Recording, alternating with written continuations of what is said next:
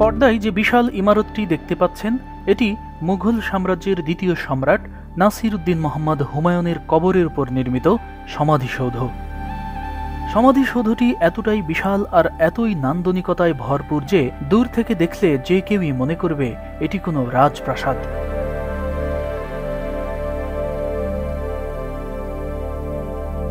প্রায় পাঁচতলা ঘরের সমান উঁচু এই ইমারতের ওপর উঠতে হয় পাথরের সিঁড়ি বেয়ে। লাল বেলেপাথর দিয়ে তৈরি নান্দনিক ডিজাইনে ঘেরা এই সমাধিসৌধের চারপাশে এমনকি আনাচে কানাচেও ছড়িয়ে ছিটিয়ে রয়েছে কবর আর কবর।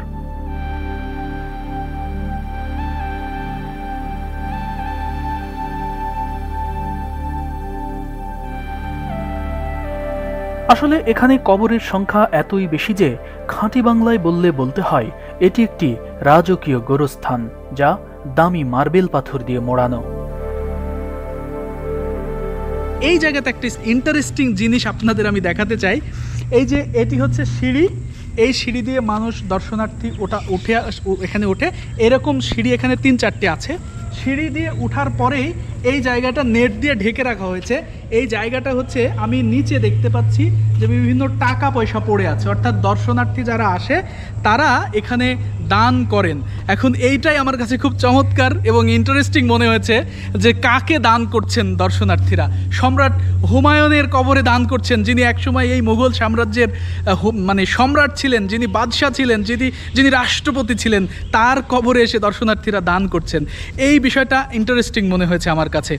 কারণ তার তো আসলে দানের প্রয়োজন নেই। এই কবর যেভাবে আছে, যে স্ট্রাকচারে দাঁড়িয়ে আছে মানে মোটামুটি রাজকীয় বিষয় এখানে লক্ষ্য করছি। আর যদি এর স্থাপত্যর বিষয়টা আমি বলি। বেলে পাথর দিয়ে তৈরি করা হয়েছে, লাল বেলে পাথর, বিভিন্ন জায়গা থেকে আনা হয়েছে। আমি যতটুকু শুনেছি এবং বই পড়ে জেনেছি যে এই লাল বেলে পাথরগুলো রাজস্থান থেকে আনা হয়েছিল সে সময়। এবং রাজস্থান লাল বেলে পাথরের জন্য বিখ্যাত ইন্ডিয়ায়। তো সেই ক্ষেত্রে এগুলো রাজস্থান থেকে আনা হয়েছিল। এবং সবচেয়ে মজার বিষয় হচ্ছে, এই যে ডিজাইনগুলো দেখুন, এগুলো কিন্তু সেই আমলের। কিন্তু এতটুকু পরিমাণ মানে বিন্দু পরিমাণ নষ্ট হয়নি। যেখানে ইট খসে পড়ল, একটু মাথাটা ভেঙে গেল, কোনো কিচ্ছু নাই। এবং অবিকল সেই রকমই আছে। মানে আজ থেকে পাঁচশো বছর আগে যেভাবে তৈরি করা হয়েছে, সেভাবে। এবং এই ক্ষুদ্র অংশগুলো আসলে এতটুকু পরিমাণে নষ্ট হয়নি। সুতরাং বুঝতেই পাচ্ছেন যে এই স্ট্রাকচারাল যে বিষয়টা, এটা কতটা মজবুত, কতটা আধুনিকভাবে সেই সময় তৈরি করা হয়েছিল।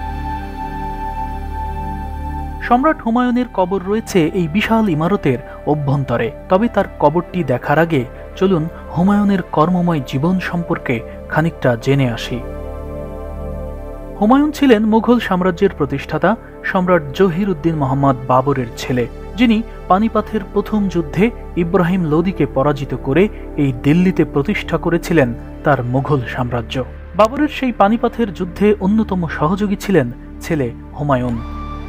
পানিপথের যুদ্ধ কোথায় হয়েছিল, যারা সেই স্থানটি দেখেননি, তারা আমাদের বেঙ্গল ডিসকভারি ইউটিউব চ্যানেল থেকে সেই ভিডিওটি দেখে নিতে পারেন। ওই ভিডিওতে আপনারা পানিপথের যুদ্ধস্থল সহ দেখতে পাবেন ইব্রাহিম লোদির কবর এবং ঐতিহাসিক বাবরি মসজিদ। পনেরোশো ছাব্বিশ সালে পানিপথের প্রথম যুদ্ধে জয়ী হওয়ার পর বাবর ছেলে হুমায়ুনকে পাঠান আগ্রায়। উদ্দেশ্য ছিল আগ্রা থেকে কেউ যেন রাষ্ট্রীয় মালামাল লুট করতে না পারে। তবে কোনো কোনো বর্ণনায় পাওয়া যায়, হুমায়ুন সেদিন সরাসরি আগ্রা হয়ে গোয়ালিয়র এসেছিলেন। কারণ গোয়ালিয়র ছিল মারাঠা শিবিরের শক্ত ঘাঁটি। সেখানে তিনি গোয়ালিয়রের রাজার পরিবারকে পান। কিন্তু সেই রাজা যুদ্ধে নিহত হয়েছিলেন। তাই হুমায়ুনকে দেখে গোয়ালিয়রের পরিবারের অন্য সদস্যরা নিজেদের নিরাপত্তা, নিশ্চয়তার আশায় হুমায়ুনকে একটি বড় আকারের মূল্যবান হীরা উপঢৌকন হিসেবে দিয়েছিলেন। এই হীরাটি ছিল ইতিহাস বিখ্যাত কোহিনুর। বাবরনামা এবং হুমায়ুন নামায় উল্লেখ আছে, পানিপথের যুদ্ধে জয়লাভ করে দিল্লিতে আনুষ্ঠানিক বিজয় উৎসব শেষে সম্রাট বাবর ছেলে হুমায়ুনের কাছে চলে আসেন। সেখানে তাদের দুজনের সাক্ষাৎ হয়। হুমায়ুন এ সময় বাবরের হাতে সেই মূল্যবান হীরাটি তুলে দেন। এই হীরাটি তখন থেকে পরবর্তী প্রায় তিনশো কুড়ি বছর মুঘলদের দখলেই ছিল। একটা সময় সেই হীরা দিয়েই সম্রাট শাহজাহান তার বন্দি জীবনে প্রিয় তাজমহলটি দেখতেন, যা আমি আগের ভিডিওতে বিস্তারিত তুলে ধরেছি এবং সেখানে দেখিয়েছি সম্রাট শাহজাহান যেই ঘরটিতে বন্দি ছিলেন সেই বন্দিশালাও। এভাবেই বাবরের হাত ধরে শুরু হয় মুঘল সাম্রাজ্য, কিন্তু বাবর পনেরোশো সালে ২৬ ডিসেম্বর মারা যান। এরপরই সিংহাসনে বসেন ছেলে হুমায়ুন।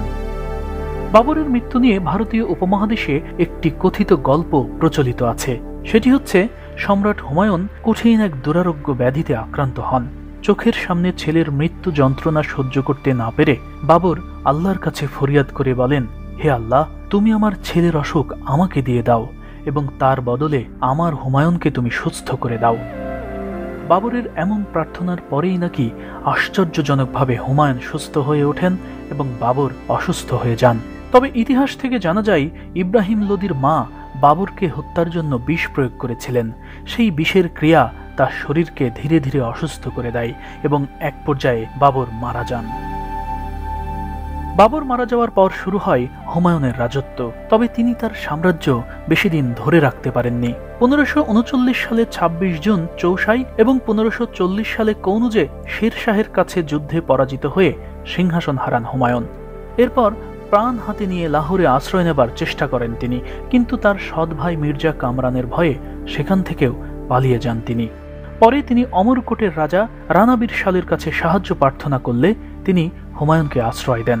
এই অমরকোটেই পনেরোশো বিয়াল্লিশ সালে হুমায়ুনের স্ত্রী জন্ম দেন এক পুত্র সন্তান, যার নাম রাখা হয় আকবর। ওদিকে হারানো সাম্রাজ্য পুনরুদ্ধারের প্রবল বাসনায় হুমায়ুন এর পরের বছর, অর্থাৎ পনেরোশো সালে বোলান গিরিপথের পাশ দিয়ে আফগানিস্তান হয়ে চলে যান পারস্যে। এই সময় তার সফর সঙ্গী ছিলেন তার স্ত্রী হামিদা বানু বেগম, বৈরম খাঁ এবং মোলাপির মোহাম্মদ। হুমায়ুন পারস্যে পৌঁছালে পারস্যের বাদশাহ তহমাস তাকে আশ্রয় দেন এবং ভারত জয়ের জন্য সাহায্য করেন। এরই অংশ হিসেবে হুমায়ুন পনেরোশো সালে পুনরায় কান্দাহার দখল করেন এবং আরও দশ বছর সময় নিয়ে নিজের শক্তি বৃদ্ধি করে পনেরোশো সালে আবারও সদর্পে দিল্লি প্রবেশ করেন এবং আগ্রা জয় করে পুনরায় মুঘল সাম্রাজ্যের সিংহাসনে বসেন। তবে হুমায়ুন পনেরোশো সালে সাম্রাজ্য হারিয়ে পনেরোশো সালে ফিরে পেলেও ক্ষমতার স্বাদ তিনি বেশি দিন উপভোগ করতে পারেননি। পনেরোশো সালে মাগরিবের নামাজ আদায় করার জন্য তিনি লাইব্রেরি থেকে দ্রুত নামতে গিয়ে সিঁড়ি থেকে পড়ে যান এবং ঘটনাস্থলেই মারা যান। পর্দায় সম্রাট হুমায়ুনের যে রাজকীয় সমাধিটি দেখতে পাচ্ছেন, এটি পনেরোশো বাষট্টি মতান্তরে পনেরোশো পঁয়ষট্টি সালে নির্মাণ শুরু করেন হুমায়ুনের স্ত্রী ও সম্রাট আকবরের মা হামিদা বানু বেগম, যার নকশা করেন পারস্যের বিখ্যাত স্থপতি মিরাক মির্জা গিয়াস। হুমায়ুনের সমাধিটি ভারতীয় উপমহাদেশের প্রথম উদ্যান সমাধিক্ষেত্র। দিল্লিতে হজরত নিজামুদ্দিন আউলিয়া রহমতুল্লাহ আলাইয়ের মাজারের পাশেই এই সমাধিসৌধের অবস্থান। সে সময় এটি নির্মাণে ব্যয় হয়েছিল প্রায় পনেরো লক্ষ টাকা। রাজকীয় এই সমাধিসৌধের দ্বিতীয় তলায় রয়েছে হুমায়ুনের কবর। অর্থাৎ আসল কবরটি মূলত নিচতলায় মাটিতে, তবে নিচতলায় দর্শনার্থীদের প্রবেশ নিষেধ। নিচতলায় যে পজিশনে আসল কবর রয়েছে, ঠিক সেই বরাবর দোতলায় এই কবরের অবয়ব তৈরি করা হয়েছে, যা সবার জন্য উন্মুক্ত। সম্রাট হুমায়ুনের সমাধিসৌধটি দেখার মতো। বাইরে যতটা রাজকীয়, ভেতরটা তেমনি সৌন্দর্যে ঘেরা। মুঘল স্থাপত্যের সাথে উজবেকিস্তান এবং পারস্যের কিছু নান্দনিক ডিজাইনের সংমিশ্রণ জুড়ে দেওয়া হয়েছে এর প্রতিটি দেয়ালে। এই সমাধিটি আগ্রার তাজমহল সহ একাধিক রাজকীয় মুঘল স্থাপত্যের পূর্বস্বরী। সমাধিসৌধটি এতটাই সুন্দর এবং এতটাই নান্দনিকতায় ভরপুর যে দেখলে মনেই হয় না যে এটি আজ থেকে প্রায় পাঁচশো বছর আগে নির্মিত। এতটা নতুন রয়েছে আজও। খুবই ভালো লাগছে ইন্ডিয়াতে এসে। আমি প্রথমে এসেছিলাম কলকাতায়। কলকাতা থেকে গেলাম আগ্রায়, তাজমহল দেখলাম, তারপরে ফতেপুর সিকরি, আগ্রার টোম্ব, এরপরে গিয়েছিলাম আমি জয়পুরে। জয়পুরে বিভিন্ন স্থাপনা দেখলাম এরপর আসলাম এই দিল্লিতে। এই যে মুঘল সাম্রাজ্যের সাক্ষী হতে এসেছেন, অনুভূতিটা কেমন? জি খুবই ভালো। এখানকার প্রত্যেকটা আর্কিটেকচার একটা মুঘলের যে ছাপটা সেগুলো খুব ভালো লাগে। আর এখানকার সব থেকে বড় ব্যাপারটা হচ্ছে সব কিছু এখানে বেলে পাথর এবং মার্বেল পাথরের একটা সমন্বয় আছে। তো খুব দামি একটা ব্যাপার। আর তাছাড়া এখানে রক্ষণাবেক্ষণও দেখলাম বেশ বাংলাদেশের উন্নত ভালো, এবং বাংলাদেশের থেকে আরও বেশি রক্ষণাবেক্ষণ এখানে করা হয়। এই বিষয়টা আমিও বলতে চাই যে এখানে আমি এসেছি এবং মানে এই হুমায়ুন টোমটা আসলে বিশাল এলাকা। একেবারে ছোটোখাটো একটা ক্যান্টনমেন্টের মতো আমার কাছে মনে হয়েছে। চারিদিকে বিশাল প্রাচীর এবং অনেকগুলো এরিয়া নিয়ে এখানে তৈরি হয়েছে। কিন্তু এই জায়গাগুলো দেখেন, এতটুকু পরিমাণ কাগজের টুকরো পর্যন্ত নেই। মানে ময়লার মও নেই। তাহলে এখানকার রক্ষণাবেক্ষণের দায়িত্ব যে, দায়িত্বে যারা আছেন, তারা নিশ্চয়ই আপনারা বুঝতে পাচ্ছেন যে এই জায়গাটা কতটা সুন্দর করে তারা রেখেছেন। আর বাংলাদেশে দেখা যায় যে ময়লা আবর্জনা পড়ে আছে, দর্শনার্থীরা এসে দুর্গন্ধে পা ফেলতে পারে না। আমি নিজেও আপনারা জানেন যে ইতিহাস ঐতিহ্যের সন্ধানে বিভিন্ন জায়গায় যাই, বিভিন্ন রাজবাড়িতে আমি গিয়েছি, অনেক রাজবাড়িতে গিয়েছি, কিন্তু সেখানে মানুষের যতগুলো মলমূত্র দেখেছি এবং দুর্গন্ধে যেখানে টিকতে পারিনি, সেই বিষয়টার সাথে, এই বিষয়টার আসলে মানে এখানে যদি আমি একশো নম্বর দিই, আমাকে বাংলাদেশের স্থাপত্যগত বা আবর্জনায় ভরপুর স্তূপকে নম্বর দিতে হবে। টোয়েন্টি পয়েন্ট টু ফাইভ মানে পার্থক্যটা আসলে এরকম। সত্যিই তাই। সম্রাট হুমায়ুনের সমাধিসৌধের চত্বর দেখলেই প্রাণ জুড়িয়ে যায়। চারিদিকে সবুজে ঠাসা। আবর্জনার স্তূপ তো দূরের কথা একটি কাগজের টুকরো পর্যন্তও নেই। একেবারে ঝকঝকে তকতকে এখানকার চারপাশ। দিল্লির তাপমাত্রা সম্পর্কে নতুন করে বলার কিচ্ছু নাই। প্রচণ্ড তাপ। Forty four, forty five, forty six, এমনকি ফর্টি সেভেন, এইট পর্যন্তও এই শহরে তাপমাত্রা ওঠে এই সময়ে। প্রচণ্ড গরমে তাই দর্শনার্থীরা যখন এখানে এই বিশাল এরিয়া চলাচল করে পায়ে হেঁটে, তখন তাদের প্রচণ্ড পিপাসা পায়, আমারও খুব পিপাসা পেয়েছিল। কিন্তু এখানে দারুণ একটা ব্যবস্থা আছে, এখানে বিশুদ্ধ পানির ব্যবস্থা আছে। আমি যখন পানি পান করলাম, তখন আমি অবাক হয়ে গেছি যে এত সুন্দর ঠান্ডা পানি এখান থেকে দেওয়া হচ্ছে বিনা পয়সায়। সত্যি এটা অসাধারণ এবং খুব ভালো একটি কাজ এই এখানকার কর্তৃপক্ষ করছে। পানিটা মনে হয়েছে আমার কাছে এক যে ফ্রিজ থেকে নিয়ে আমি পানিটা খাচ্ছি। এত সুন্দর একটা ব্যবস্থা এখানে রাখা হয়েছে।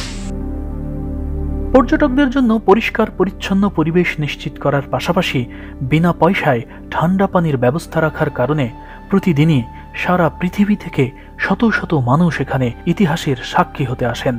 ঐতিহাসিক এই স্থানটি উনিশশো তিরানব্বই সালে ইউনেস্কো বিশ্ব ঐতিহ্যের তালিকায় স্থান দিয়েছে।